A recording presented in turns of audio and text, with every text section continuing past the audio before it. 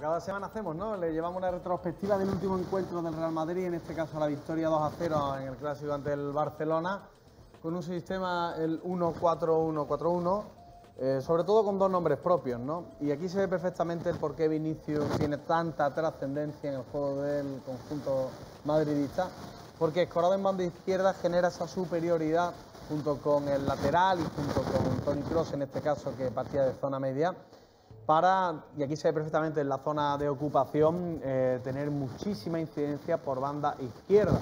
Hoy va a ser muy complicado para Emerson eh, evaluar cuándo subir, cuándo proyectarse en ataque y cuándo, por el contrario, permanecer con labores defensivas porque Vinicius va a buscar ese uno contra uno. Un Madrid que se impone al Barcelona sin necesidad de tener más el balón, eh, un 44% de posesión frente a un 56% del equipo de Quique Setién pero el Madrid con las ideas muy claras, sobre todo a la hora de eh, intentar recuperar el balón. 58 balones que recupera el Madrid por 43 del Barcelona. Pese a tirar las mismas veces entre los tres palos, es cierto que la intensidad que el conjunto de Zidane le dio, sobre todo en la segunda parte, hizo que se decantase esa balanza hacia el conjunto blanco.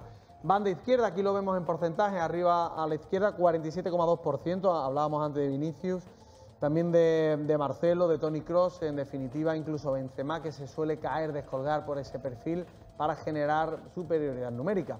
Jugadores, nombres propios, Vinicius Junior. Eh, aquí se ve abajo como esa trascendencia que tiene en disparos, en, goles, en recuperaciones, eh, en incidencia ofensiva por el perfil para ser muy, muy vertical. Y en segundo eh, lugar, eh, Fede Valverde. Lo mismo por banda derecha en el clásico eh, Zidane eh, sorprendió a propios y extraños dándole esa libertad casi de medio, de extremo por momentos.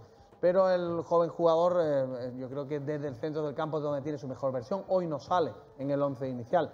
Y luego invitamos en redes sociales a los aficionados a que nos dijesen qué futbolista era el más destacado. Y por supuesto Benzema, como se ve aquí en goles, en disparos, en asistencia, junto con Tony Cross, obviamente es el buque insignia.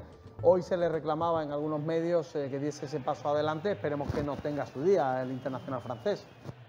Bueno, pues el informe Botello Nacho González, algo más desde ahí, ya se ha retirado el equipo, me imagino, ¿no? Sí, se han retirado ya los dos equipos, empiezan a tomar posiciones los pequeños que inundan de bandera.